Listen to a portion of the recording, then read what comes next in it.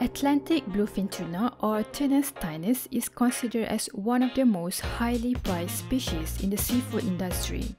They are native to the western and eastern Atlantic Ocean and Mediterranean Sea, but extinct in the Black Sea. As you might already know, Atlantic bluefin tuna is one of the most lucrative commercial fisheries. But what makes people go crazy about this fish? Bluefin tuna is the largest species of tuna, with the highest weight ever recorded was close to 700 kg. The metallic blue and shimmering silver white on their body helps them to camouflage from the above. Caudal finlets are yellowish in color and short pectoral fins are what distinguish them from other tuna species.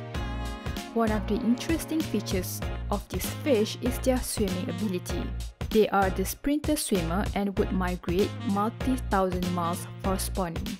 To help them with that purpose, the head contains a pineal window which functions more like a navigation for them to swim across thousands of miles range.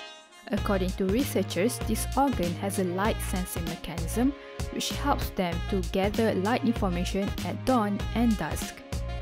In the world of sashimi cuisine, the bluefin tuna belly are labeled according to their fat content. Higher fat equals to best tasting and more expensive. There are three main cuts in tuna. Akami, the leanest meat with less fat, normally used in making sushi. Chutoro, the medium fatty which is usually found near the skin of the belly and otoro, the fattiest, which is the valuable cut from the tuna underbelly and falls apart in the mouth and melt away like a butter without chewing. This culinary pleasure is what makes Atlantic bluefin tuna the highly prized fish. In today's world, this craze over the expensive bluefin tuna meat has impacted their population in the wild labeled as endangered species in IUCN list since 2009, has placed them as one of the watch list species. Consequently, studies on the cultivation of Atlantic bluefin tuna in captivity has been one of the important aspects to reduce the dependency on wild Atlantic bluefin tuna.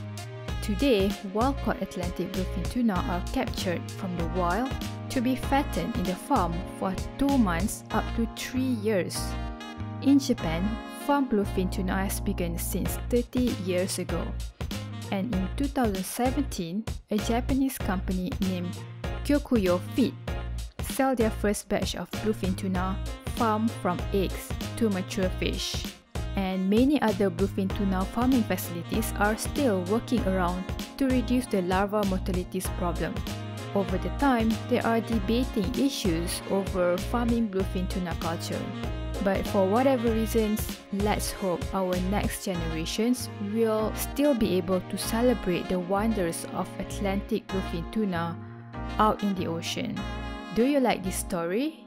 If you do, be sure to thumbs up and subscribe to our YouTube channel. Till then, thank you for watching and see you next time.